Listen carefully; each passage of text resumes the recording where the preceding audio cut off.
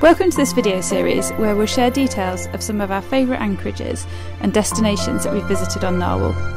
I hope you find them helpful in planning your next adventure.